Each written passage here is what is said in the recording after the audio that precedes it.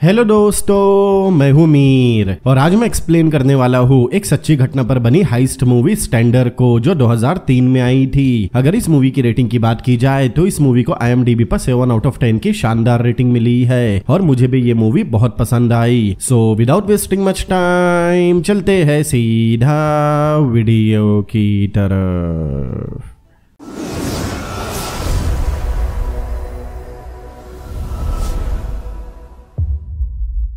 Movie की शुरुआत होती है 1970 साउथ अफ्रीका में। पहले हमें जोहानसबर्ग शहर दिखाया जाता है। वहाँ एक तरफ़ खूबसूरत और साफ़ सुथरे घर बने हुए थे, जहाँ गोरे लोग रहते हैं। वही दूसरी तरफ़ गंदी झोपड़पट्टियाँ भी थी, जहाँ काले लोग रहते थे। आपको पहले ही बता दू, उस समय साउथ अफ्रीका में गोरे और काले लोगों का रेसिज्म अपने चरम पर था। काले लोगों को साफ़ सुथरे शहर में रहने की इजाज़त नहीं थी। उस समय निल्सन मंडेला भी जेल में थे। अब उसी दिन एक कार बहुत तेज़ी से सभी रूल तोड़ते हुए जा रही थी। उस कार में आंद्रे स्टैंड टेंडर और उसका दोस्त कोर बैठे थे। उन्हें जल्दी से कहीं पहुँचना था, लेकिन थोड़ी दूर जाने के बाद एक पुलिस वाला उन्हें रोकता है। लेकिन आंद्रे को देखते ही वो सॉरी बोलने लगा। दरअसल आंद्रे पुलिस ऑफिसर है, वो अभी कैप्टन की पोस्ट पर है। उस पुलिस वाले से थोड़ी देर बात करने के बाद दोनों आगे बढ़ गए। थोड़ी देर बाद हमें पता चला कि आज आंद्रे की शादी है। फिर अचानक ही कोर सबको इकट्ठा करके स्पीच देता है। दरअसल ये आंद्रे की दूसरी शादी थी, इसीलिए कोर उसे इस बार अपनी शादी पर ध्यान देने बोल रहा था। आंद्रे की शादी बेकी नाम की लड़की से हो रही थी। आंद्रे की रेपुटेशन पुलिस में बहुत अच्छी है और उसके डैड भी आर्मी में जनरल रह चुके हैं। इसीलिए वहाँ पुलिस और आर्मी के बड़े बड़े ऑफिसर भी आए थे। आंद्रे और उसकी नई वाइफ बेकी भी बहुत खुश लग रहे थे। अब कुछ दिन बाद आंद्रे और कोर एक अपार्टमेंट में इन्वेस्टिगेशन कर रहे थे। वहाँ एक औरत का खून हुआ था। थोड़ी जाँच पड़ताल करने पर आंद्रे को समझ में आया, उस घर में कोई बच्चा भी था। मतलब किसी ने उस औरत को मार कर उसके बच्चे को किडनैप किया है। लेकिन थोड़ी देर बाद आंद्रे कोर को वहाँ का इंचार्ज बनाकर चला जाता है, क्योंकि आज उसकी अपनी वाइफ के साथ डेट है। रात में बेकी न्यूज़ देख रही थी, जिसमें बताया जा रहा था, ब्लैक लोग जगह जगह पर प्रोटेस्ट कर रहे हैं। उन लोगों ने बहुत सी गवर्नमेंट बिल्डिंग को आग भी लगा दी। अगले दिन भी एक प्रोटेस्ट होने वाला है, जिसके लिए प्रशासन ने शहर के सभी इंट्रेंस को ब्लॉक कर दिए। अब कल जो प्रोटेस्ट होने वाला था, उसके लोग शहर में न आ जाए। इसीलिए कल शहर के सभी पुलिस वालों को राइट ड्यूटी पर लगा दिया गया है। बेकी इस बारे में आंद्रे से पूछती है, लेकिन आंद्रे कुछ खास जवाब नहीं देता, क्योंकि उसे तो यामाकाटा करना था। अगले दिन आंद्रे और कोर राइट ड्यूटी करने पहुँचे। दोनों को देखकर साफ़ नज़र आ रहा था कि दोनों ये ड्यूटी पहली बार कर रहे हैं। वहाँ एक आदमी हथियार बांट रहा था। वो आंद्रे को शॉर्ट गन और असली बुलेट देता है। ये देखकर आंद्रे काफ़ी शौक हुआ, क्योंकि ऐसे प्रोटेस्ट में बात बिगड़ने पर रबर बुलेट चलाई जाती है, जिससे सामने वाले को चोट तो लगती है, लेकिन उसकी जान नहीं जाती। लेकिन उस आदमी और बाकी लोगों को कोई फ़र्क नहीं पड़ रहा था। अब थोड़ी देर बाद ही प्रोटेस्टर उनकी तरफ़ बढ़ने लगे। वो सब नेल्सन मंडेला के सपोर्टर है। वो सब नेल्सन मंडेला को जेल से बाहर निकालने और सभी को इक्वल राइट मिलने के लिए प्रोटेस्ट कर रहे थे। अब कुछ ही मिनटों में लोग फोर्स के सामने पहुंचकर नारे लगाने लगे। तब एक ऑफिसर उन्हें शांत रहने और वापस जाने बोलने लगा। आंद्रे देखता है, उस भीड़ में ज़्यादातर स्टूडेंट है और वहाँ कुछ लोग अपने बच्चों को लेकर भी आए थे। वो ऑफिसर सभी को जगह खाली करने के लिए तीन मिनट का समय देता है। तभी वहाँ दो लड़के किताबें लेकर आए और उनमें आग लगा दी। लेकिन एक ऑफिसर उस लड़के को बुरी तरह पीटने लगा। वहाँ एक रिपोर्टर भी था जो इस पिटाई को अपने कैमरा में रिकॉर्ड कर रहा था। लेकिन बड़े ऑफिसर उस रिपोर्टर के कैमरे में से रील निकाल लेते हैं, ताकि यहाँ जो कुछ भी हो रहा है, उसकी असलियत बाकी लोगों को पता न चले। फिर एक ऑफिसर सभी को वापस जाने की वार्निंग देता है। लेकिन उसकी वार्निंग से कोई खास फ़र्क नहीं पड़ता। तब बाकी ऑफिसर भीड़ में गैस ग्रेनेड छोड़ते हैं। लेकिन कुछ लोगों ने उसे उठाकर वापस ऑफिसर्स की तरफ़ फेंक दिया। तब एक ऑफिसर अपने कुत्ते को ले जाकर उस लड़के को कटवाता है, जिसने ग्रेनेड उनकी तरफ़ फेंका था। वहाँ का मामला बिगड़ता जा रहा था। तभी वहाँ एक चौपर आया और आंद्रे ने देखा, चौपर में मौजूद एक आदमी ने भीड़ में एक आदमी पर गोली चला दी। अब ये देखकर सभी ब्लैक लोग भड़क गए, जबकि आंद्रे समझ गया था कि ऑफिसर ने ये जानबूझकर किया है ताकि उन्हें प्रोटेस्ट कर रहे लोगों पर अटैक करने का बहाना मिल सके। क्योंकि बाहर के लोगों को कौन बताएगा कि पहले फोर्स ने ही प्रोटेस्टर पर गोलियाँ चलाई। अब कुछ ही मिनटों बाद ब्लैक लोग ऑफिसर पर पथराव करने लगे। एक ऑफिसर लगातार उन लोगों को रुकने बोल रहा था, लेकिन लोग काफ़ी भड़क गए थे। पथराव में एक ऑफिसर को चोट आ गई। इसीलिए ऑफिसर्स ने सीधा लोगों पर शूट करना शुरू कर दिया। वहाँ की अफरा तफरी देख कर आंद्रे को कुछ समझ नहीं आ रहा था, क्योंकि उसने ये सब पहली बार देखा था। वो काफ़ी परेशान था। तभी धूल में से एक पंद्रह सोलह साल का लड़का नारे लगाते हुए आया, वो निहत्ता था, लेकिन आंद्रे को कुछ समझ नहीं आया और एकाएक उसने गोली चला दी। ये देखकर आंद्रे एकदम शौक रह गया। तभी पता नहीं उसे क्या हुआ और उसने कुछ और गोलियाँ चला दी। जब शाम को सब शांत हुआ तो वहाँ बहुत सारे ब्लैक लोगों की लाशें पड़ी थी। लोग बुरी तरह जख्मी थे, जो बस रेसिज्म के खिलाफ आवाज़ उठा रहे थे। दूसरी तरफ़ फोर्स भी अभी तक वही थी। आंद्रे वहाँ शांत खड़ा था, तभी वहाँ दो ऑफिसर आते हुए उससे पूछने लगे कि क्या उन्हें ओवर टाइम करना है? तभी अचानक आंद्रे हमला करके उन्हें मारने लगा। ये आंद्रे का सिस्टम को लेकर गुस्सा था, जो उन दोनों ऑफिसर पर निकल रहा था। तभी उसका दोस्त कोर आकर उसे छुड़ाने लगा। तब आंद्रे ने ज़ोर से चिल्लाया और वहाँ से चला गया। उस रात आंद्रे अपने डैड के घर गया। वो काफ़ी परेशान था। वो अपने डैड से पूछता है, आखिर क्यों हमेशा बेकसूर लोग मारे जाते हैं? क्योंकि आज उसने खुद एक बेकसूर को मारा था। तब उसके डैड कहते हैं, अगर वो उन्हें नहीं मारते तो प्रोटेस्ट शुरू रहता और एक दिन ब्लैक लोग उन पर कब्जा कर लेते और उन्हें मार देते। लेकिन आंद्रे के मुताबिक एक दिन ब्लैक लोग यहाँ कब्जा ज़रूर करेंगे। लेकिन क्या पता वो उनके जैसे ना हो। लेकिन उसके डैड ये मानने तैयार नहीं थे। आंद्रे समझ गया था, उसके डैड भी एक रेसिस्ट है, जिन्हें काले लोगों को मारने में कुछ भी गलत नहीं लगता। इसीलिए उनसे बात करने में कोई मतलब नहीं है। उस रात आंद्रे रात भर सो नहीं पाया और सोता भी कैसे? क्योंकि उसने एक निहत्ते लड़के को मारा था, जो सिर्फ़ अपने हक के लिए लड़ रहा था। वो भी बिना किसी हथियार के। सुबह होते ही आंद्रे अपने ऑफ़िस गया और कल के मामले की फ़ाइल ढूँढने लगा। फ़ाइल में कल मरने वालों की फ़ोटो और इन्फॉर्मेशन थी। उसने जिसे मारा था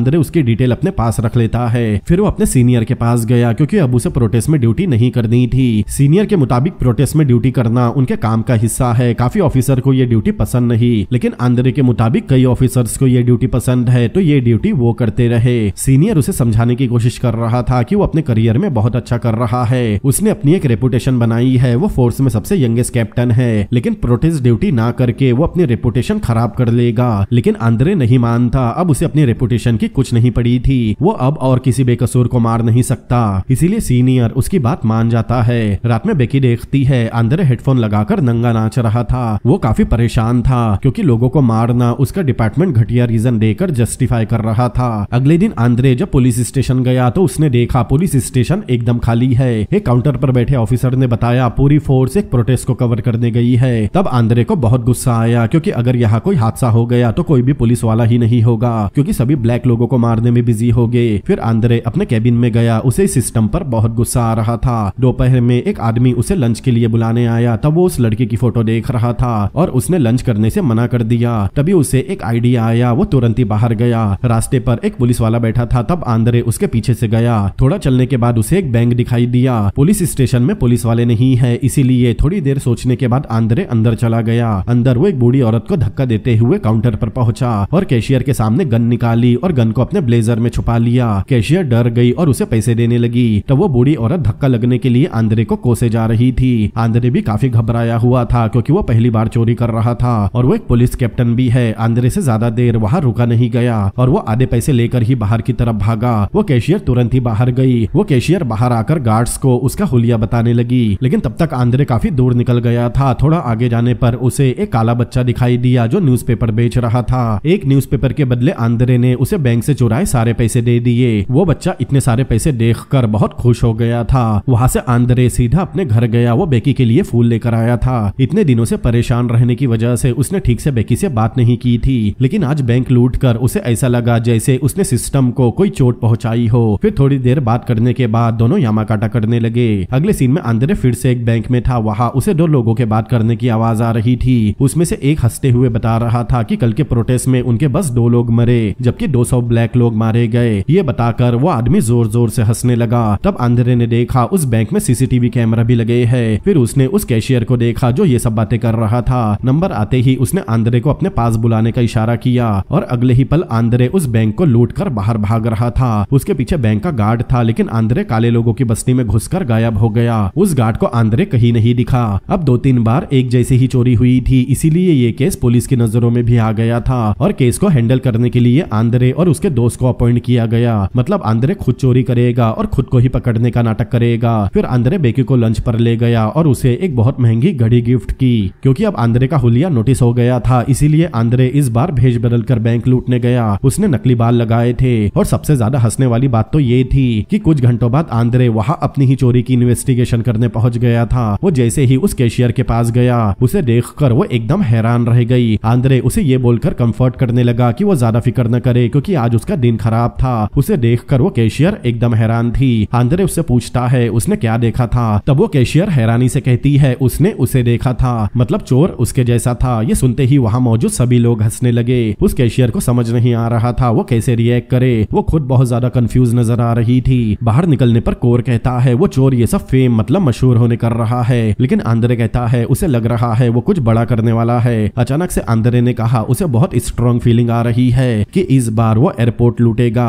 क्योंकि एयरपोर्ट में फॉरेन एक्सचेंज विंडो होती है, जहाँ हर रोज हज़ारों डॉलर और अलग अलग करेंसी एक्सचेंज होती है। अगली बार ज़रूर वो एयरपोर्ट में चोरी करेगा। कोर को इस बात पर यकीन नहीं होता, लेकिन आंद्रे बार बार इसी बात पर ज़ोर दे रहा था। दरअसल आंद्रे ये सब पुलिस को भटकाने कर रहा था। अब पुलिस फोर्स एयरपोर्ट पर नज़र रख रही थी। वही दूसरी तरफ़ आंद्रे भेज बदल कर एक बैंक से चोरी करके निकल रहा था। ऐसे ही वो बहुत सारी बैंक में चोरी करता है, लेकिन एक बार भी पकड़ा नहीं जाता। लेकिन एक बैंक की चोरी के समय का सीसीटीवी फुटेज देख कर कोर को चोर के हाथ में एक घड़ी दिखाई दी। अगले ही सीन में हम देखते हैं पुलिस ने एक आदमी को पकड़ा जो काफ़ी हद तक आंद्रे के जैसा दिख रहा था और उसके हाथ में वो घड़ी भी दिख रही थी। तब कोर आंद्रे से कहता है, उसे और बेकी को कुछ दिनों के लिए इन सबसे दूर कहीं बाहर जाना चाहिए। आंद्रे कहता है, वो इस बारे में ज़रूर सोचेगा। अगले सीन में आंद्रे भेज बदल कर एक बैंक में चोरी कर रहा था, लेकिन तभी अचानक पुलिस वाले उसे चारों तरफ़ से घेर लेते हैं। तभी वहाँ कोर आकर आंद्रे को नाम से पुकारता है और उसे सरेंडर करने कहता है। तब आंद्रे कुछ विरोध नहीं करता। कोर को मिलाकर उसे पकड़ने नब्बे पुलिस वाले लगे थे। तब आंद्रे कहता है, उन्हें इतना टाइम क्यों लगा? कोर कहता है, क्योंकि वो उसके जितना अच्छा पुलिस वाला नहीं है। अब टीवी पर आंद्रे के पकड़े जाने की न्यूज़ आती है। ये न्यूज़ सुनकर आंद्रे के पिता एकदम शौक थे, लेकिन बेकी सिर्फ़ एक गहरी सांस लेती है। जैसे उसे पता हो, आंद्रे कुछ गलत कर रहा था। अब कुछ दिनों बाद कोर्ट में जज अपना फैसला सुनाने से पहले आंद्रे को अपना स्टेटमेंट देने कहता है। तब आंद्रे खड़ा होकर कहता है हाँ उसने बैंक लूटे है और उसने निहत्ते ब्लैक लोगों को भी मारा है। लेकिन जज कहता है ब्लैक लोगों की मौत से इस कोर्ट को कुछ लेना देना नहीं। ये देखकर आंद्रे एकदम शौक था, क्योंकि यहाँ के जज भी ब्लैक लोगों को इंसान नहीं समझते। अब उसे कुछ नहीं कहना था।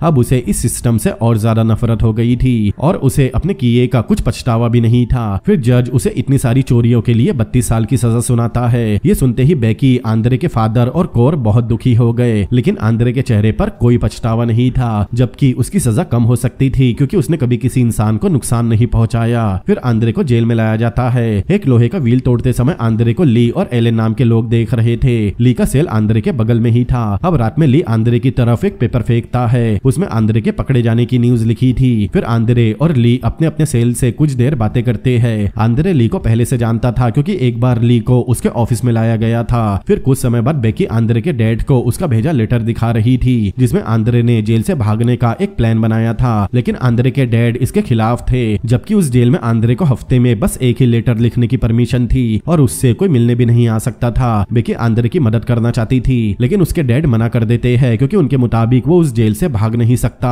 अगर वो भागते हुए पकड़ा गया तो उसके बाद वो कोर्ट में जमानत की अपील भी नहीं कर सकते। और आंद्रे के डैड मरने से पहले उसे लीगली बाहर देखना चाहते हैं। अब कुछ समय बाद आंद्रे को जेल में डाइवोर्स पेपर मिले मतलब बेकी उससे डाइवोर्स लेना चाहती है, लेकिन आंद्रे को ज़्यादा फ़र्क नहीं पड़ा। फिर वो कोर के लिए एक लेटर लिखता है। उस लेटर से हमें पता चला कि आंद्रे को इस जेल में दो साल हो चुके हैं और अब उसे यहाँ मौजूद क्रिमिनल गलत नहीं लगते मतलब छोटे मोटे क्रिमिनल जैसे चोरी चकारी करने वाले। अब जेल में ली और एलन उसके दोस्त बन चुके थे। एक दिन काम करते समय आंद्रे को ली किसी से बात करते हुए दिखाई दिया। वहाँ आने पर दोनों इशारों में बातें करते हैं, क्योंकि दोनों भागने की प्लानिंग कर रहे थे। दोपहर में आंद्रे एलन के साथ काम कर रहा था। यहाँ पता चलता है, एलन भी बैंक लूटने के क्राइम में ही जेल आया है। एलन ने पहली बैंक रॉबरी अपनी उंगली दिखाकर की थी। मतलब कोर्ट के अंदर हाथ डालकर सबको ऐसे दिखाया जैसे उसके पास गन हो। तब आंद्रे कहता है, यहाँ से बाहर निकलने के बाद वो उसे लेने ज़रूर आएगा। लेकिन एलन कहता है, नहीं, भागने के बाद वो उसे लेने आएगा। तभी ली भी आया। मतलब एलेन और आंद्रे में कॉम्पिटिशन होगा कि जेल से पहले कौन भागता है और जो भी भागेगा, उसे दूसरे को लेने आना होगा। जबकि आंद्रे और ली एक ही टीम में है। अब एक दिन जेल में फुटबॉल का मैच चल रहा था।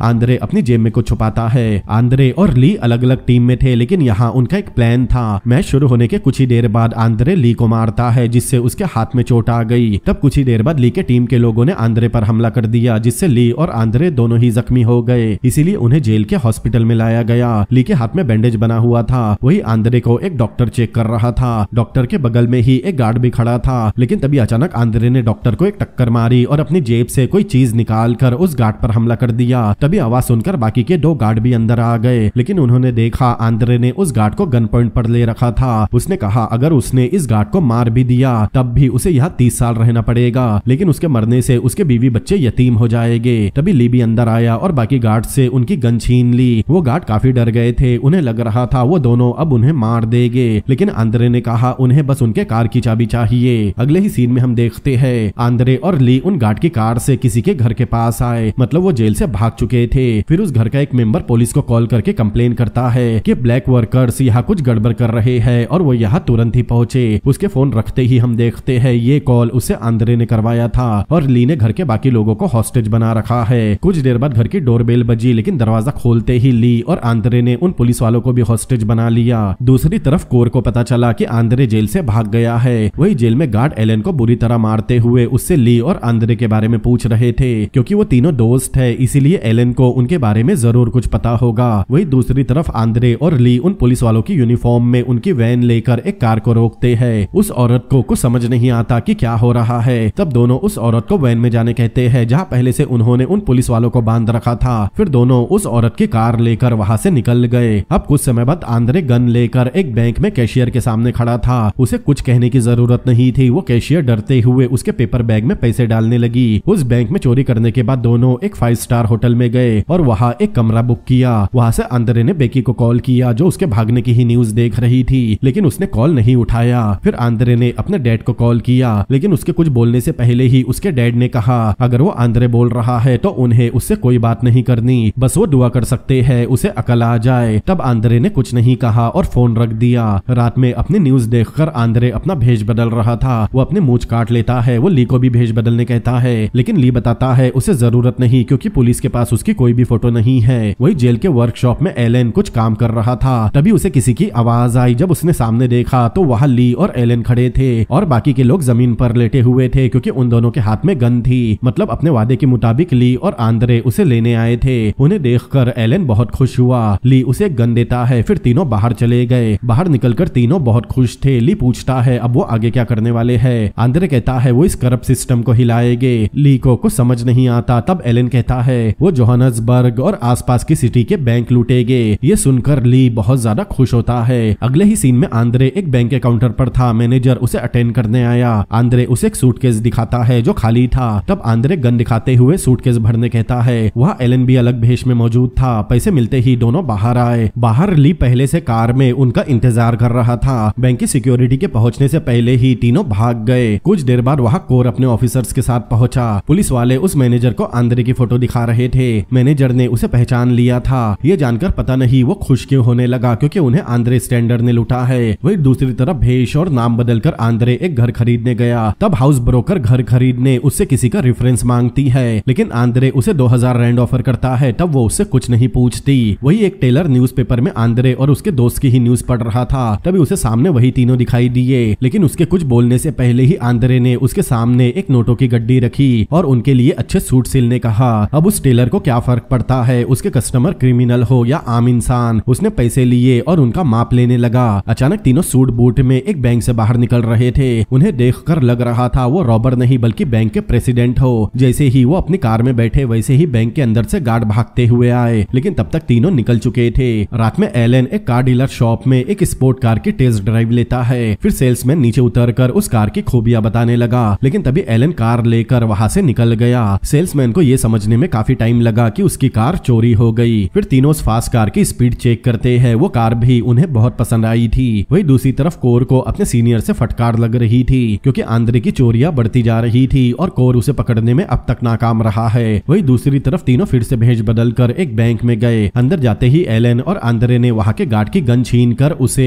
और ली ने बाकी लोगों को हॉस्टेज बना लिया। कुछ देर बाद वहाँ पुलिस ऑफिसर के साथ कोर पहुँचा। मैनेजर बताता है, रॉबर्ट सात हज़ार रैंड लूट कर ले गए, लेकिन उसने पहले से पच्चीस हज़ार रैंड बैंक में बनी एक सीक्रेट सेफ़ में छुपा रखे थे, जिससे उनका ज़्यादा नुकसान नहीं हुआ। दूसरी तरफ़ कार के रेडियो में तीनों उसी बैंक की न्यूज़ सुन रहे थे। उन्हें भी पता चला की मैनेजर ने ज़्यादा पैसा उसकी सीक्रेट सेफ़ में छुपाया था। तब आंद्रे तुरंत ही एलन को गाड़ी घुमाने कहता है। वही कुछ समय बाद उस बैंक में पुलिस के जाने के बाद मैनेजर उस बैंक में था। लेकिन तभी आंद्रे फिर उस बैंक में आया। रात में आंद्रे के घर में न्यूज़ चल रही थी कि स्टैंडर्ड गैंग ने आज शहर के तीन बैंक में चोरी की, जिसमें से एक बैंक में उन्होंने दो बार चोरी की है। ये न्यूज़ देखकर आंद्रे के पिता बहुत ज़्यादा दुखी थे। वही दूसरी तरफ़ एलन और ली भी ये न्यूज़ देख रहे थे। फिर रात में आंद्रे चुपके से अपने डैड के घर गया, लेकिन उसने उन्हें जगाया नहीं। बस उन्हें देखकर वापस चला गया। घर वापस आने पर उसे सुनाई दिया, ली, एक तालिया नाम की लड़की के साथ मज़े कर रहा है। आंद्रे से ये सहन नहीं हुआ। वो तुरंत ली के रूम में गया। ली उसे बोल रहा था, वो तालिया से प्यार करता है, लेकिन फिर भी आंद्रे उसे धमकाता है कि अब वो उनमें से एक हो गई है। अगर उसने पुलिस को उनके बारे में कुछ भी बताया तो वो उसे छोड़ेगा नहीं। एलन भी एक लड़की के उनके ग्रुप में आने से खुश नहीं था, लेकिन ली की वजह से वो कुछ बोल नहीं रहे थे। वही ली तालिया को शान करता है। अगले दिन वो एक गन की शॉप के बाहर बैठे थे, क्योंकि उन्हें और हथियारों की ज़रूरत थी। आंद्रे बाहर नज़र रखता है। फिर ली और एलन शॉप में गए। वो शॉप को लूटने वाले थे। ली वहाँ मौजूद औरत को एक गन लेकर आने कहता है। फिर एलन अंदर आया, लेकिन उसने देखा वहाँ कांच का काउंटर बना है। ये उनके प्लान में नहीं था। एलन उस काउंटर पर चढ़ने लगा। तभी वो औरत उसे देखकर शूट करने वाली थी। लेकिन तभी एकाएक ली ने उस औरत को शूट कर दिया। गन की आवाज़ सुनकर आंद्रे तुरंत अंदर गया। ली ने अचानक उसे गोली मारी थी। वो उसे मारना नहीं चाहता था। ये देखकर आंद्रे खुश नहीं होता। वो तुरंत उस औरत के हाथ पर पट्टी बांधता है और एलन से बड़े हथियार लेने कहता है। उन्होंने आज तक इतनी सारी चोरियाँ की, लेकिन कभी किसी का खून नहीं बहाया था। अगली शाम को तीनों एक रेस्टोरेंट में बैठे थे। आंद्रे न्यूज़पेपर पढ़कर सुनाता है, उस औरत को शूट करने का इल्ज़ाम ली पर ही लगा। फिर आंद्रे बताता है, उन्हें पकड़ने के लिए पुलिस ने एक नई टास्क फोर्स बनाई है। लेकिन वो न्यूज़ देखकर आंद्रे खुश हो गया था। वो एलन को दिखाता है, जहाँ टास्क फोर्स का ऑफ़िस है, उसके बगल में ही एक बैंक भी है। अगले सीन में वो एक चौक पर पहुँचे। तीनों ने अपने भेज बदले हुए थे। वो उस टास्क फोर्स के ऑफ़िस के सामने से गुजरते हुए उसके बाजू वाली बैंक में गए। बैंक को कुछ मिनटों में लूटा और टास्क फोर्स के ऑफ़िस के सामने से ही वापस गए। ये पुलिस के लिए एक बहुत बड़ा तमाचा था, जो टास्क फोर्स अपने बाजू वाली बैंक को नहीं बचा पाई। वो शहर के बाकी बैंकों को क्या खाक बचाएगी? एक दिन वो एक बैंक में चोरी कर रहे थे, लेकिन ली से पैसों का बैग गिर गया। ली पैसों को उठाने लगा, लेकिन आंद्रे और एलन उसे छोड़कर चलने कहते हैं। फिर एक सुनसान जगह पर तीनों अपने कपड़े बदल रहे थे। तभी ली ने देखा, उनके पीछे एक बूढ़ा आदमी उन्हें देख रहा है। वो उसे शूट करने गया, लेकिन आंद्रे ने उसे रोका और उस आदमी को एक नोटों की गड्डी भी दे दी, क्योंकि वो बूढ़ा आदमी ब्लैक और अपाहिज था। लेकिन ये बात ली को पसंद नहीं आई, क्योंकि वो अपनी जान खतरे में डालकर वो पैसे कमा रहे थे।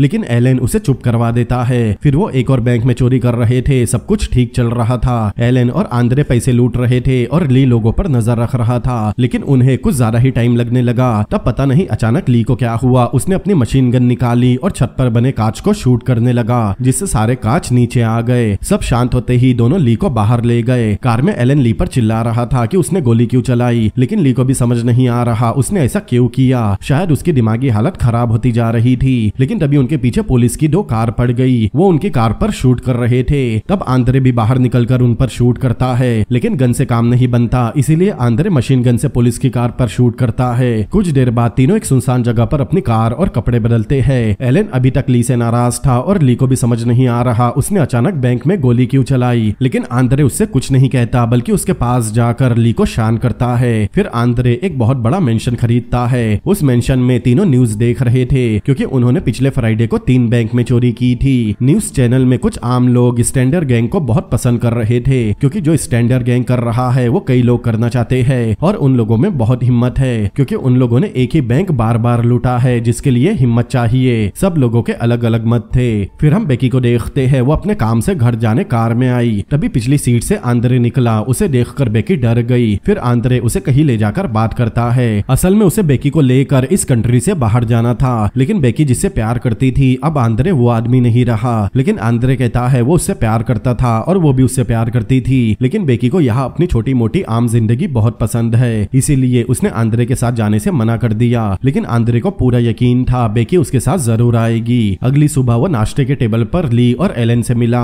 आज वो काफ़ी खुश लग। रहा था। वो तालिया से भी बहुत अच्छे से बात करता है। फिर आंद्रे उन दोनों से उनकी ज़िंदगी के आगे के प्लान पूछता है। क्योंकि अब उनके पास इतना पैसा था कि अब वो आगे का बहुत सारा समय आराम से बिता सकते थे। एलन कहता है, उसे ग्रीस जाना है, जबकि ली के कुछ खास प्लान नहीं थे। आंद्रे बताता है, वो अपनी बीवी बेकी के साथ यूएस जाने वाला है। उसने सभी के लिए प्लान बना लिए थे। ये सुनकर सभी बहुत खुश होते हैं। फिर आंद्रे उन्हें अपने प्लान के बारे में बताता है। उसने सभी की न्यू आइडेंटिटी का इंतज़ाम कर दिया था और उसने सबकी फ़्लाइट टिकट भी अरेंज कर ली थी। अभी उनके पास इतने पैसे है कि वो अपना कुछ समय आराम से बिता सकते हैं। लेकिन आंद्रे कहता है, क्यों ना उनके पास इतना पैसा हो कि वो अपनी पूरी ज़िंदगी आराम से बिता सके? एलन ये सुनकर समझ गया कि आंद्रे एयरपोर्ट के फॉरेन एक्सचेंज विंडो लूटना चाहता है। वो तो अलग अलग एयरपोर्ट से जाएँगे, लेकिन जाने से पहले वो स्टैंडर्ड गैंग के रूप में एक बहुत बड़ा धमाका करना चाहते हैं। ली ये सुनकर काफ़ी शौक होता है, लेकिन एलन और आंद्रे को अपने प्लान पर पूरा भरोसा था। इसीलिए पुलिस ऑफिसर के भेष में आंद्रे एयरपोर्ट पर नज़र रखने लगा। रात में एलन भी प्लान प्लान पर काम कर रहा था, क्योंकि ये उनका आखिरी काम होने वाला था। लेकिन ली टालिया के साथ पुल में एंजॉय कर रहा था और आंद्रे उन्हें देख रहा था। रात में जब दोनों यामाकाटा कर रहे थे, तब भी बाहर से आंद्रे उन्हें देख रहा था। तभी पता नहीं अचानक उसे क्या हुआ। आंद्रे वहाँ से तुरंत ब्लैक लोगों की बस्ती में गया। वहाँ जैसे ही वो बार में पहुँचा, लोग उसे नफरत की नज़रों से घूर रहे थे। बड़ी सीधी सी बात थी, यहाँ एक गोरे आदमी का आना कोई आम बात नहीं है। सब उसे ऐसे घूर रहे थे जैसे उसे अभी कच्चा खा जाएँगे। तब आंद्रे कहता है, वो यहाँ रॉबर्ट मेगुनी की फैमिली से मिलने आया है। रॉबर्ट मेगुनी कुछ साल पहले एक प्रोटेस्ट में पुलिस के हाथों मारा गया था।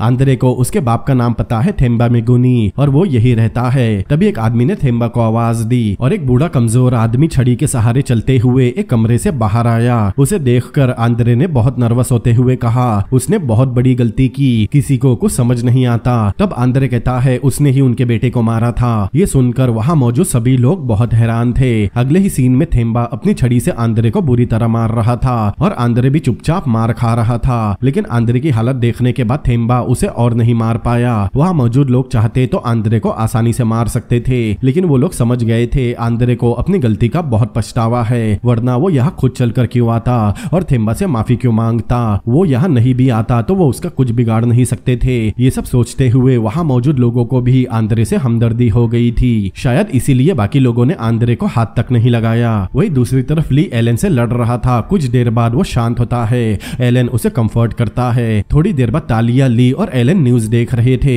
तब हमें पता चलता है पुलिस ने एयरपोर्ट पर सुरक्षा बढ़ा दी, क्योंकि ऑफिसर कोर के मुताबिक स्टैंडर गैंग अब एयरपोर्ट में रॉबरी करने वाली है। इसका अंदाज़ा कोर ने पहले ही लगा लिया था, क्योंकि एक बार आंद्रे ने एयरपोर्ट के फॉरेन एक्सचेंज विंडो का ज़िक्र किया था और आंद्रे स्टैंडर को एयरपोर्ट के बाहर देखा गया है। तभी अचानक तीनों को एक आवाज़ आई, जैसे बाहर कोई है। ली और एलन अपने हाथ में गन लिए मेन डोर पर गए। तभी दरवाजे पर किसी ने अपना हाथ रखा। अब जैसे ही तीनों बाहर गए, उन्होंने देखा साइड में आंद्रे जख्मी हालत में पड़ा है। तीनों उसे देखकर हैरान हुए कि आंद्रे की ऐसी हालत किसने की। वही दूसरी तरफ़ कोर को अपने सीनियर से डांट पड़ रही थी, क्योंकि इतने दिनों और इतने सारे पुलिस वालों के साथ भी कोर आंद्रे को पकड़ नहीं पा रहा और कोर के पास कोई खास जवाब भी नहीं था। इसीलिए सीनियर ज़रूरत पड़ने पर आंद्रे के शूटर साइड का ऑर्डर भी दे देते हैं। वही दूसरी तरफ़ एलन बेकी को कॉल करता है। फिर बेकी आकर आंद्रे का ध्यान रखती है और उसे हौसला देती है कि उसे हार नहीं माननी और किसी भी तरह उसे यहाँ से निकलने का रास्ता निकालना ही होगा, क्योंकि वो हमेशा रास्ता निकाल लेता है। हालाँकि बेकी फिर भी उसके साथ नहीं जाएगी, लेकिन आंद्रे यहाँ से जाए और अपनी एक नई ज़िंदगी शुरू करे। अब कुछ समय बाद आंद्रे ठीक हो चुका था। वो एलन के साथ याच देखने गया। वो याच सोलर पैनल और लॉन्ग रेंज फ्यूल वाली थी। मतलब वो याच बिना रुके काफ़ी दिनों का सफ़र आसानी से तय कर सकती है। वो याच एलन और आंद्रे को बहुत पसंद आई, क्योंकि उस याच के साथ उन्हें एक लड़की भी मिलने वाली थी, जो हमेशा उस याच पर रहती है। आंद्रे कैश देकर तुरंत उस याच को खरीद लेता है, क्योंकि वो इसी याच से साउथ अफ्रीका से बाहर जाएँगे। अगले सीन में तालिया किसी दुकान से बहुत सारी बिकनी चुरा कर भाग रही थी, लेकिन तभी पीछे से आकर एक आदमी उसे पकड़ लेता है। कुछ देर बाद उस दुकान के स्टोर रूम में कोड दिखाई दिया।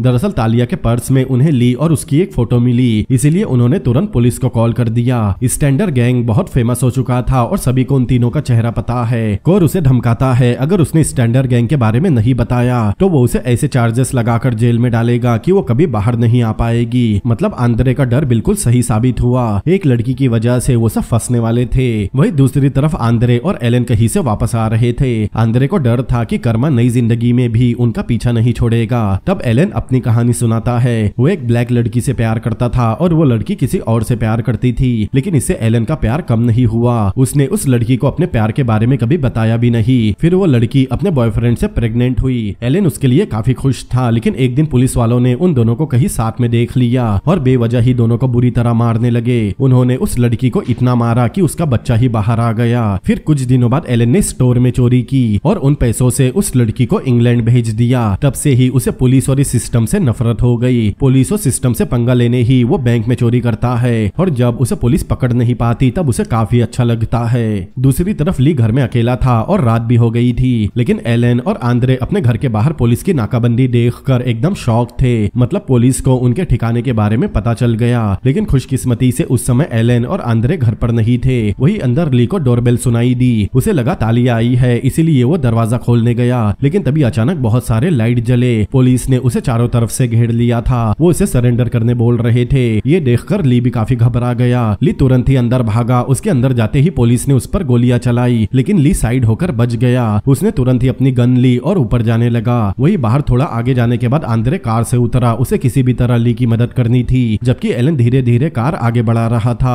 आंद्रे पुलिस से बचकर अंदर जाने का रास्ता ढूँढने लगा, लेकिन अंदर ली अपने दोनों हाथों में गन लिए सोफे पर बैठ गया। मानो जैसे उसे पता चल गया हो, अब वो बच नहीं सकता, उसका खेल खत्म हो चुका है। कुछ सेकंड बाद ली दरवाज़ा खोलकर बालकनी में गया और दोनों हाथों से पुलिस को शूट करने लगा। ये एक खुदकुशी थी, बाहर से आंद्रे ने भी ली को बालकनी में देखा, लेकिन पुलिस वाले बहुत ज़्यादा थे, उन्होंने एक साथ गोलियाँ चलाकर ली को छन्नी कर दिया और ली ज़मीन पर गिर गया। बाहर से आंद्रे ये सब देख रहा था, लेकिन वो अपने दोस्त के लिए कुछ नहीं कर सकता था। वो खुद को बहुत बेबस और मजबूर महसूस कर रहा था। तब तक एलन भी कार लेकर वहाँ पहुँच गया था। एलन भी गन शॉट की आवाज़ सुनकर समझ गया कि क्या हुआ होगा। वो पूछता है, अब वो आगे क्या करे? क्या वो याच पर जाए? लेकिन आंद्रे के मुताबिक अब उनका मेंशन पुलिस के कब्जे में है। जल्द ही वो फ़ोन रिकॉर्ड से पता लगा लेंगे। उन्होंने याच ली है। इसीलिए पैसे देने के बाद भी वो याच पर नहीं जा सकते। लेकिन उनके सामने एक और नाकाबंदी लगी थी। वहाँ कोर भी था।